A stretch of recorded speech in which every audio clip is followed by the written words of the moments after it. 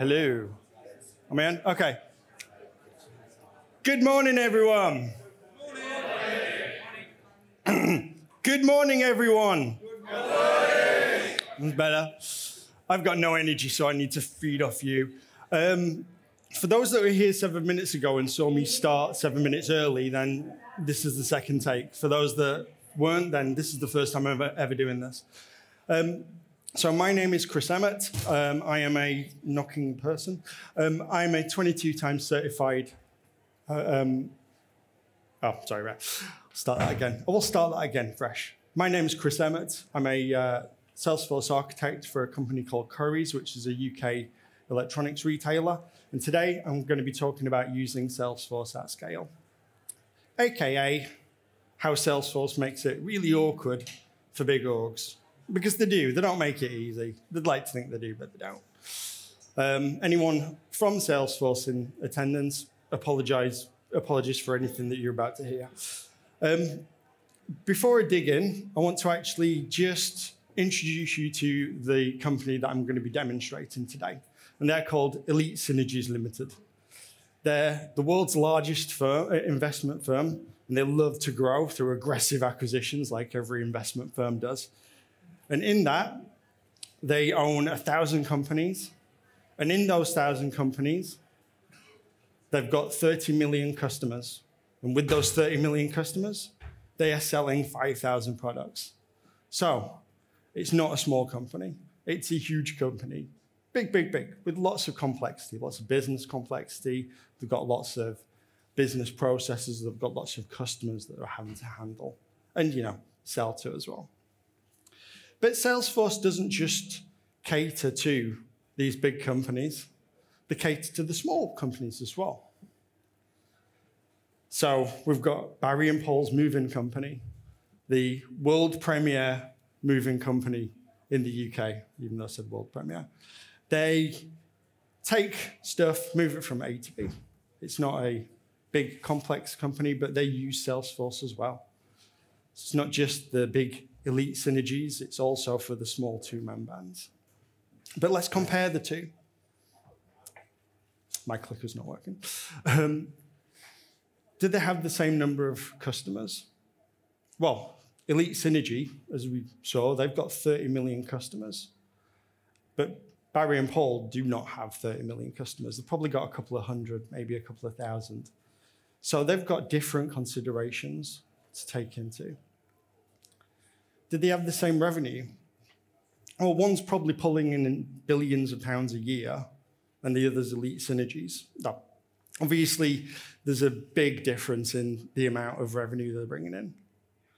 Did they have the same business complexity? That's debatable, but you're going to assume that the big investment firm has got more complexity. They've got more business processes, they've got more Apex and flows running in their system. Now, this is where the similarities actually collide. Are they using the same infrastructure? Yeah. They might be on the same server. They're using the exact same stuff. And Salesforce gives them the exact same tool sets. For both Elite Synergies and Barry and Paul, they can build out complex data models. They can build out automation with Flow and Apex. And they can integrate with systems outside of Salesforce because no Salesforce implementation is an island on its own. It's connecting with other systems. But it's, do go back, but it's not that simple because Elite Synergies has to be more considerate with how they implement Salesforce. They have to think about how Salesforce is going to creak, how it's going to handle those bigger processes, that bigger data those bigger implementations. And that's what we're going to talk about today. I'm going to take us through these three sections. We're going to go through data, we're going to go through automation and integration, and just talk about the considerations that you have to make when you scale up to a large organization within Salesforce. And also, I, I do want to make this interactive. So if you, if you do have questions throughout, just raise your hand and uh, I welcome every question. There will be a section at the end for Q&A as well. So let's kick off with data, complex data considerations. Well, first off, if you're dealing with a big company like Elite Synergies, you're not going to be dealing with thousands of records or hundreds of records in your object. You're going to be dealing with millions of records. The company I work for, as I mentioned, uh, Currys, we've got 30, nearly 30 million customers in our account object. Similar number for orders, similar number for Experience Cloud users. It's a big, complex org. So there's lots of data. But Salesforce, while it can technically handle all of that data, it's not going to be performant. So you need to think about how you're going to store that. You need to think about the life cycle of that data. All data has a beginning, middle, and end, like any good story. And the trick with Salesforce at scale is to make sure that you are not keeping that data for longer than you need. You're creating it, you're creating it for a purpose. Are You're backing it up if you need to, and then you're deleting it when you are done. And more, more than not, not just to keep the system performant, you might need to delete it to stay compliant. People may want the right to be forgotten. You might need to delete data after a certain retention period. You need to be thinking about how you are offloading that data and keeping the stuff that you need just for the period that you need it. Then you need to make sure that the amount of data that you have is foolproof. You don't want to be storing too many fields in an object, for example, because how are you going to train people to actually fill that in? Because if they're not fully trained properly, you're going to introduce bad data. If you're storing data for the sake of storing it, then you're just going to run into issues because you don't want to store too much data. And by storing too much data, you do run the risk of slowing your system down. So in the two examples I've got here, do you need role hierarchy and do you need formula fields? Role hierarchy in particular is a difficult one. If a person owns more than 10,000 records, you'll actually instigate an issue in Salesforce called data skew, whereby if you update a record and you happen to own 10,000 records, the sharing, the sharing permissions rules will check every single one of your records that you own. And then it will go to your manager because you're in a hierarchy. And then it will check the sharing settings for that person against the 10,000 records and maybe the other records that he owns, and then up and up and up. And that can slow Salesforce down. Now, there's ways around that. So one of the ways is that you could just do without role hierarchy. Maybe you just don't need it. Maybe you can find other ways of ensuring that data is shared responsibly. And then another one is if a person desperately needs to have 10,000 records and you desperately need to have a role hierarchy, put them at the top of the tree. Because when you sift through 10,000 records, and if it checks their manager, if they've not got a manager, you're fine.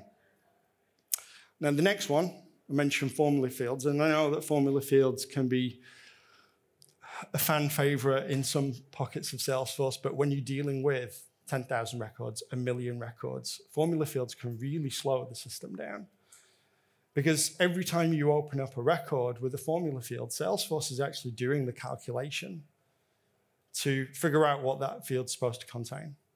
And if you're trying to export 2 million records, with a formula field, three formula fields, five formula fields, Salesforce is going to slow down as it's trying to calculate all of that information. Now, one of the ways you can get around that is by using process automation to stamp a value. Obviously, if it's if it's based on a date, like you want to know if a record's due today and there's a tick, you can't do that because it requires real-time processing. But if you wanted to take two values and add them together, well, you could do that as a flow or apex at the point that you're saving that file.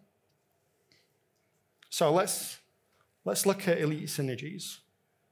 So they've got unlimited edition because, of course, they do. Um, they've just bought a new company called Help Me Now, and they need to integrate Help Me Now into their service org. Now, this merger will result in 700 uh, fields on their case object, just, which is really close to their limit, because the limited in unlimited edition is 800 fields. Now, can this be maintained and kept compliant? What's the consensus? No. Why? because it will grow over time and it's unnecessarily complex. So there's an administrative overhead of just managing that many data points to begin with. I'll try and repeat that for the people on the stream. I just realized you're not mic'd up. Um, but yeah, it will grow over time. It will be difficult to maintain. And uh, how are you going to train people on that? Which is bring actually bring you, you've kind of covered the third step, so I'm going to ignore that. But if it is growing over time and you add in that complexity, how are you even going to migrate that off Salesforce? We'd all like to think that Salesforce is going to be used in a company forever, but there will be a certain point where you need to move that off platform. Might move to something that's not been invented yet, it might move to another version of Salesforce. If you were just saving data and complexity for the sake of saving that data, you're just adding more complexity to a problem down the line. You're making your migration difficult. And realistically, you want to make that migration as easy as possible. One of my favorite anecdotes with that is if, if a company wants to move away from Salesforce or move on to a different system, you saying that it's going to be difficult isn't going to make that problem go away. It's just going to make the migration more difficult. So you kind of want to have the data in a position where it's easy to get out and get back in and migrate. So this is the one that you kind of touched on. If you've got 700 fields on the case object that are on that page, who's filling that in? Who is that for? Now, I've, I've, worked in, I've worked in places where there's been 700 fields and 300 fields, and on the page, and none of it gets filled. It's, it's there because a business process was dictated that doesn't really have any business being there. And you've really got to fight that. You've really got to get it down because you want to reduce that complexity, reduce the training overhead, improve the data quality, make it easier to get data in and out. And this last one, because every talk's got to have some sort of AI in it this year, so this is my bit of AI. Um, AI is built on data, good data. Just like a 60 year old adage of crap in, crap out with databases, it's not really changed. If you are not storing data of good quality, of meaningful quality, how are you going to train an AI model to learn how your business works? So that is data. So next I'm going to go on to automation. I'm going to quickly check the time. Um, so automation considerations. And I've mentioned flow here, but you could replace that with Apex. It's not important. Can your automation scale? Can you bulkify it? Now, who, who's familiar with the term bulkify? Who's not familiar with the term bulkify? And this is not to. Oh, great, yeah, yeah. Right, so. So Salesforce is a little. So Salesforce is on a shared platform. And with that shared platform, you get this thing called governor limits. So these governor limits ensure that everyone has a nice experience. It's all nice and happy. But it does mean that if you've got 30,000 records that you want to update, you can't just say, hey, Salesforce, update these 30,000 records. You've kind of got to put it all together in a big bundle and say, just do this, do this once instead of do this, do this, do this, do this. So bulkification is getting everything together and just saying, do all this once for me. And on these big orgs, you kind of have to do that because you're going to be running lots and lots and lots of automation. You're going to be affecting lots and lots of different records. So, are you bulkifying your automation to make sure that you are not hitting any of these limits? And if you do have automation running 50,000 times a day, how are you ensuring that you're not going to be conflicting with anything? Because you might be trying to affect the same records twice. You might be trying to affect, especially in a role hierarchy, you might be getting record contention because there's two people whose sharing rules are being updated. You need to make sure that your automation can handle that conflict so it can fail gracefully. Which brings me on to my next thing. So at my, uh, at my employer, Currys, around about 2,000 flows fail every day. There's about 20 million flows that run every month. 2,000 flows every single day fail.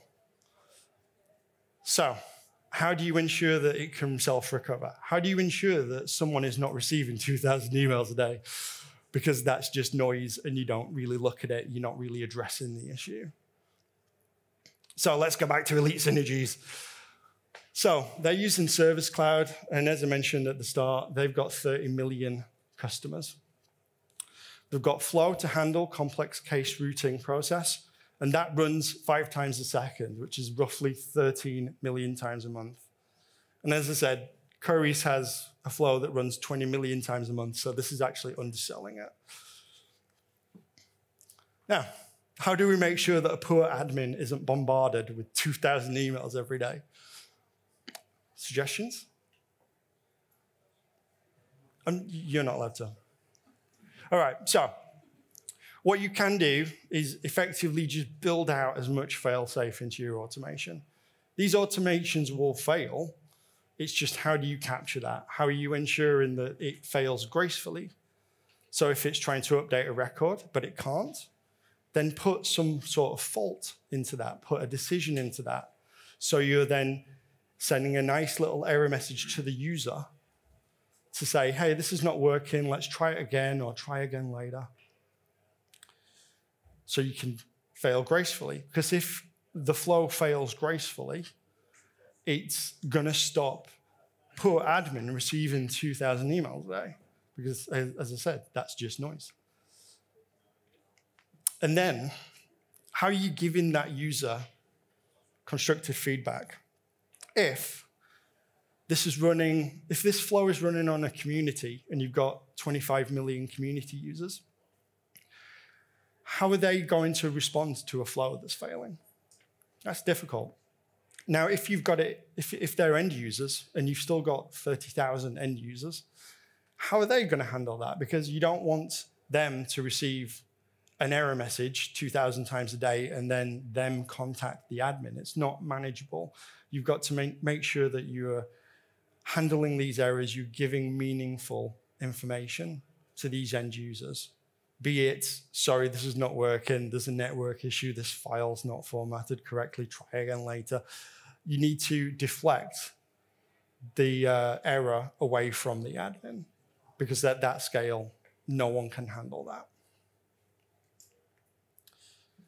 So now I'm going to go on to integration, which similar to automation, but just exiting Salesforce. So can it scale? It's exactly the same. Can it scale? Are you bulkifying this stuff? Instead of just hitting an external server 30,000 times, are you getting all of your requests together and just saying, do this once? And because it's an external system, you kind of got to assume that it's entirely out of your power, entirely out of anything that you can do, and it will fail. So, similar to automation, how are you handling that failure? Is your entire system completely reliant on an external service being available and it'll just fall over if not? You can't really do that at that scale. You need to assume that it will break and you need to handle that break. The next one, which is near and dear to my heart in the past few weeks because it's cropped up. Um, when you've got these big organizations and these big complex integrations, someone is going to be setting up the passwords and the API keys. And sometimes it might be in their inbox, it might be in a notes app. You need to find a responsible way of managing those keys because passwords will expire, keys will expire. You will need to regenerate that, and you need to do it in a responsible and process driven way. And then, last but not least, on this one, what happens if bad data internally to Salesforce causes an issue with an integration? You're sending information out to, to a service, but what happens if you send some information that it's not expecting? might be in the wrong format. That's going to cause an error, but then you need to handle that error. You need to fail gracefully so the user's not contacting you 2,000 times a day. So, back onto Elite Synergies. They've got 15 backend system, which is very light, I, I must admit. And all of these connections are synchronous, which basically means it sends a message out. I can see people shaking their head at that. It Sends a message out and it's waiting for a response. It's, it's, it's basically saying, do this, and then it's waiting. I want to see if I can convince people on the stream that it's broken. Um, um, and that, that, that's just a terrible way of doing it. You never want to do synchronous if you can help it. And then the number of these systems don't have the bandwidth to handle high traffic, which basically means if you're spamming these systems, it's going to fall over. So there's two major red flags here. They're relying on synchronous, and basically these systems can't handle the, the traffic. So a new word here that I've brought up, which is uh, integration pattern. There's multiple ways in which you can integrate with an external system. And the trick isn't to just say, we're going to do it this way. The trick is to define how your integration should happen. Are you going to send a file? Are you going to send a message? Are you going to send a asynchronous message? So you kind of just dropping off a message and saying, just get back to me whenever. You need to define these different patterns, and then you need to strategize how you're going to deploy them. Because there are some systems where you may need a response that's vital to the process, and that might be synchronous. But then there's another system where you're just kind of finishing stuff off. That can just be a message, an asynchronous message, just do this whenever. You need to define that and you need to deploy it, implement it responsibly. Now, in this one, how can Elite ensure that the messages are always delivered? Well, this one is probably a bit of a cop out, but if they use middleware, you can ensure that that queuing system is in place. So if, I'll, I'll use MuleSoft as the example, if you send a message from Salesforce to MuleSoft and then MuleSoft tries to reach an external system, if that external system's not available, it can try again and try again and ensure that you've got guaranteed delivery of that message. If you're using point to point, so you're just having Salesforce talk directly to an external system, that message isn't guaranteed to be delivered. It's fired and it's forgotten. So middleware in this in this, this scale, middleware is really vital to ensure that messages are delivered. And then, how do you ensure your applications still up and running when that system's down. One example that we use at Currys, um, so strange. I said I wasn't going to use Currys as an example, and now this is the third time. Um, so we, we have a delivery system. Now, if that delivery system is down, we just default, default to a, a default date. So, for example, if it's I want to buy a product and cool, I want it in the next few days, reaches out to the delivery system. If that delivery system's down and there's no message back, it'll say, cool, we can do it in 10 days, might change. So by that, we're not stopping the customer from completing that transaction. We're ensuring that that transaction can carry on. We're just kind of using a fail safe value to make sure that we're not breaking that process. So, in summary, I think I'm I've got 15 minutes left. In summary to this, um, there's three different pillars that we've gone over. We've gone over data, we've gone over automation, and we've gone over integration. Now, the big takeaway from data is the bigger you go, the simpler you need to get. You need to really dumb down that data. Get rid of fancy hierarchy, get rid of fancy formulas, just keep it nice and simple. With the automation, you need to automate your failures. Assume it's going to fail. Assume you need to guide the user through the process of getting back to the point they can carry on with their day and not bombard the admin with thousands of emails. And similarly for integration, you need to assume that those external systems are entirely out of your control. You don't have any control of them, so they can go offline whenever they want. And you need to be able to plan for that. You need to be able to handle a system not being available and still have your process work. And then there's a sneaky extra one that I've added that I've not brought up yet, but it is super important.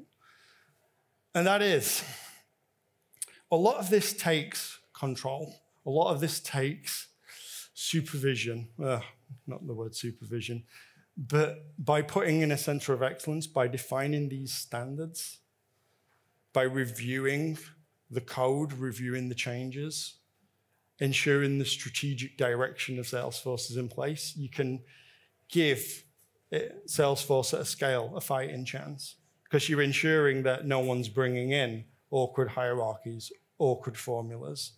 You're ensuring that the, the automation and the integrations are following patterns.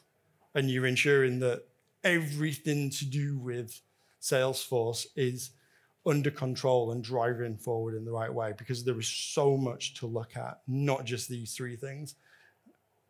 I mean, th- this is just a small sample of the things I could think of. This is all relevant to any center of excellence. You need to think about every single one. And when you're working at scale, it's doubly important. And on that, I think I went very fast. Do we have any questions? Any questions at all? Yes.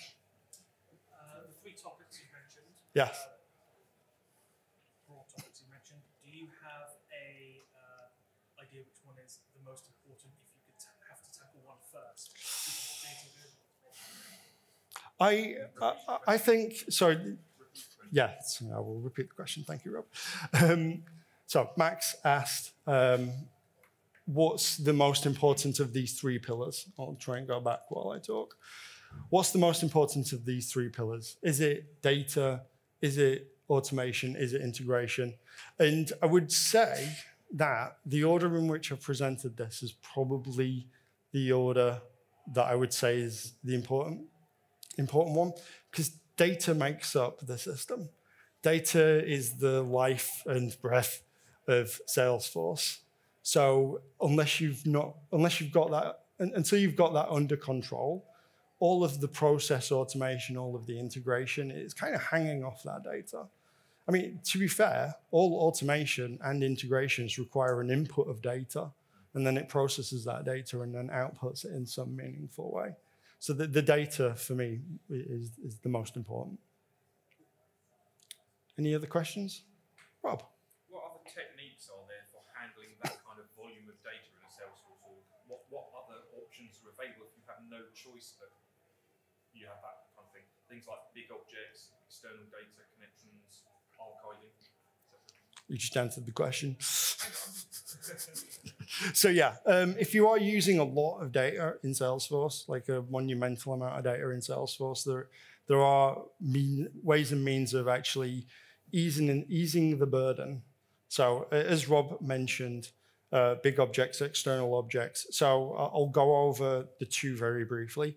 a big object is basically a very slimmed down version of a Salesforce object in that there's no faff, there's no automation, there's no, there's I don't think there's even any real reporting on it. It's basically just a very skeleton table that you can access through Apex. Um, I don't believe you can access it through Flow. So you can only access it through Apex, through a SOQL query. Um, but because it's so slim, it means that you can really scale that data up you can have way more data, but you don't get you don't get formulas, you don't get any sort of form of automation with it. It's just a repository for your dumb data.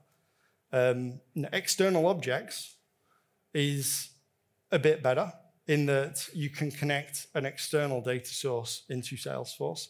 It's not cheap, but you can do it, um, and you get all of the you get all of the Salesforce features with it but Salesforce is not worrying about actually storing that data. You can run your automation off it. I don't believe you can do formula fields, but you can certainly run automation. You can have triggers whenever a new record comes in. It can treat it by and large like an internal table but it's off platform, which again eases the burden a little bit.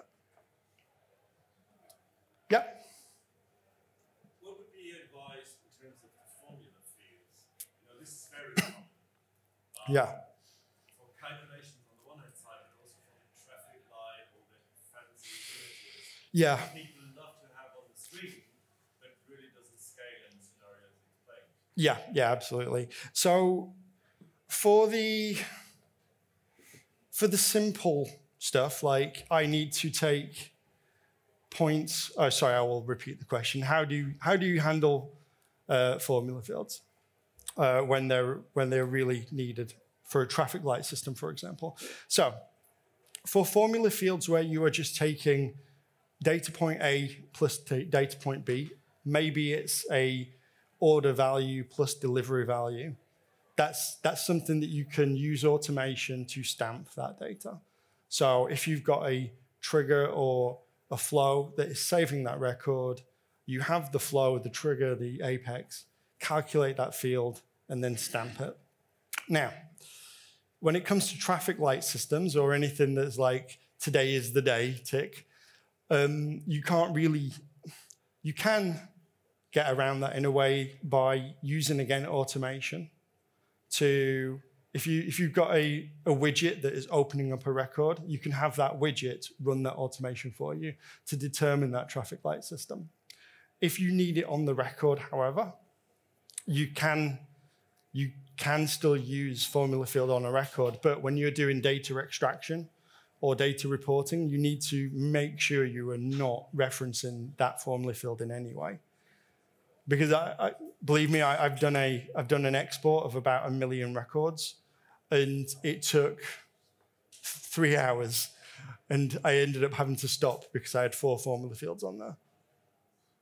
And I took the four formula fields away. It actually took minutes. Would you say it's a, it's a better approach maybe to develop a small LWC for the on-screen experience Yeah. particular visual indicators? Yeah. So, um, so when I mentioned earlier about developing a widget, uh, that, that's what I was referring to. So by just using an LWC or a, a screen flow on the page to actually look at that data, determine that formula on the fly, and display it. Because what it means is you're not burdening the record with that formula field. And by not burdening it, you're removing the stress from any data extraction, any reporting. Any other questions? Yep. You mentioned a couple of times using Flow as a, as a workaround either to stat the records or you know, handle the visualizations by ScreenFlow. Do you find Flow is performant enough for that at this scale? Or is that is Um, not its own issue? So, Flow is very, very, very scalable if you are running 15,000 flows that are all accessing a single record. If you are running 15,000 flows that are accessing 15,000 records, you're going to hit trouble. Even if you just want to run one flow that's trying to handle that amount of data, you're going to run into issues. Flow's really good at scaling at the small kind of jobs. So in the in the example of a traffic light system, every time someone opens up a record, it's entirely scalable. And as I mentioned, Currys runs 20 million flows a month. That applause was for that.